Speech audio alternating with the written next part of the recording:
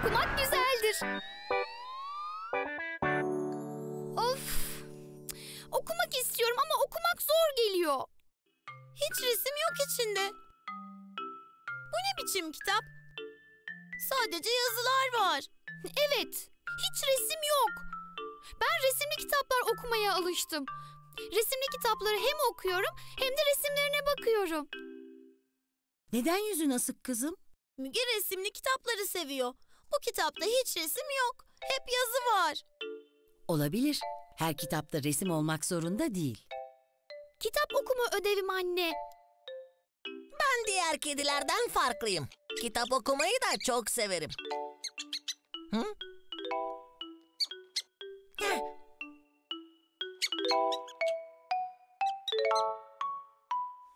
Sizden bir ricam olacak. Fare yakalama teknikleri üzerine bildiğiniz bir kitap varsa bana söyler misiniz? Bak hala bakıyor.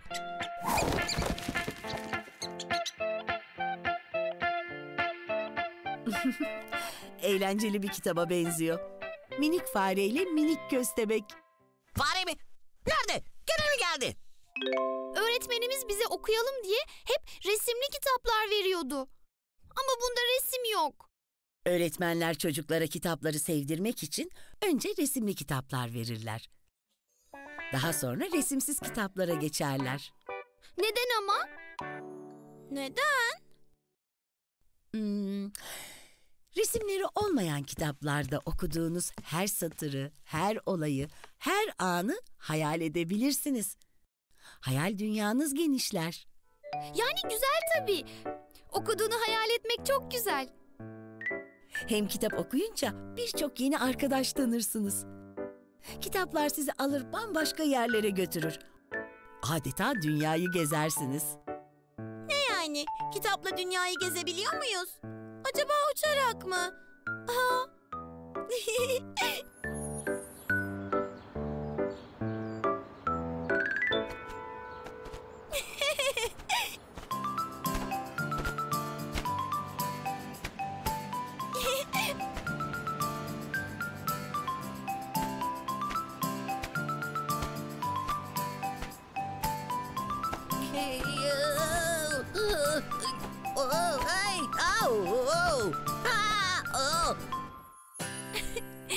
Çok komiksin canım kardeşim. Hiç kitaplar uçar mı? Ama annem kitaplarla dünyayı gezebilirsiniz dedi. Kitapta yazanları hayal etmeniz yeter. Örneğin kitabın hikayesi kutuplarda geçmektedir. Kutuplara gidersiniz. Orada buzullarda yaşarsınız. Zaten hep hayal kuruyor. Onun kitap okumasına bile gerek yok. Aa, öyle deme Müge. Kitaplar hayal gücümüzü zenginleştirir. Ben geldim. Babam geldi, babam geldi. Gelin bakayım. Hoş geldin baba. Hı? Tam zamanında geldin Galipçim. Küçük bir sorunumuz var. Onu çözmemiz gerekiyor. Sorun mu? Laleciğim, sorun çözmek benim işim. Söyleyin sorunu hemen çözeyim. Biliyorum çözeceğini. Ama sorunumuz öyle bir şey değil. Müge'ye okuldan kitap okuma ödevi vermişler.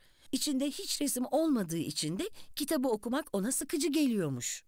Aa, oldu mu şimdi kızım? Benim kızım her çocuk gibi okumayı sever. Seviyorum da ama Benim daha iyi bir fikrim var çocuklar. Neden kütüphaneye gitmiyoruz? Sizi hiç kütüphaneye götürmedik. Harika bir fikir Galip. Kutlarım. Beni de kütüphaneye götürmezler umarım. Ne kadar da çok kitap var. Şşt! Sessiz olmalısın Mine. Kütüphanelerde sessiz olunur. Kitaplar gürültüden rahatsız mı olurlar? kitaplar canlı değildir ki canım kardeşim. Nereden biliyorsun? Ne güzel bir kitap. Küçük motosiklet dünyayı dolaşıyor. Bak, belki de küçük motosiklet geceleri herkes gittikten sonra gezmeye çıkıyordur. Gündüz olduğunda da uyuyordur.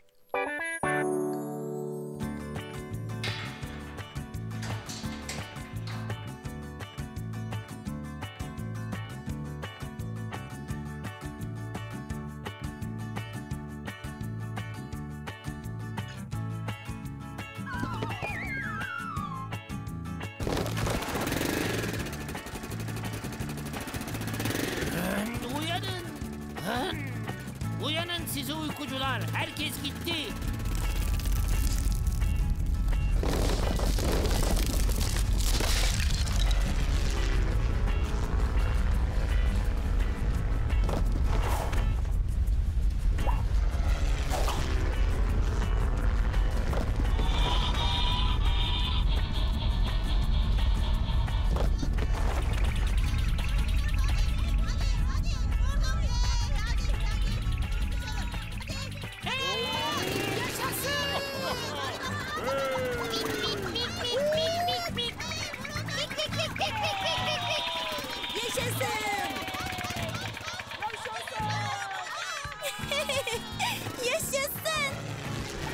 Hoş geldin.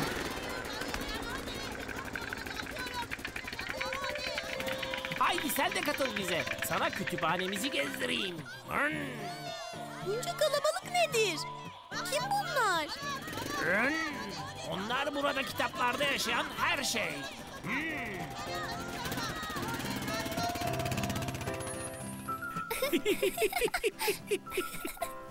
Aa, baba, sessiz olsanıza.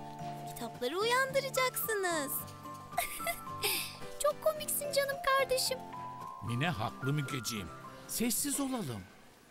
Sizin yaşınızdayken babam da beni ilk kez kütüphaneye getirmişti. Çok etkilenmiştim. Kitap okurken sanki kitapta yazan hikayenin içindeymişim gibi gelirdi. Sanki ben de astronot olup uzaya çıkardım. Ya da uçağıyla uzak ülkelere giden bir pilot olurdum. Aa, ne güzel. Sıkı tutun. Seni daha önce hiçbir insanın gitmediği yerlere götüreceğim. Ne dedin? Anlamadım. Sıkı tutun.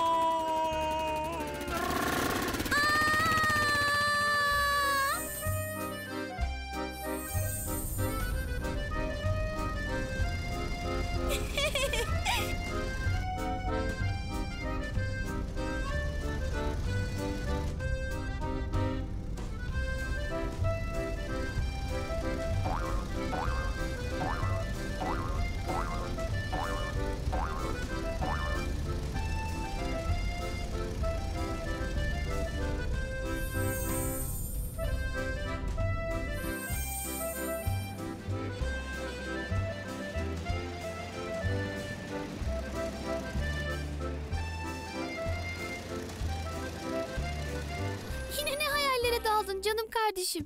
Ben kütüphaneyi çok sevdim. Bütün kitapları okumak istiyorum.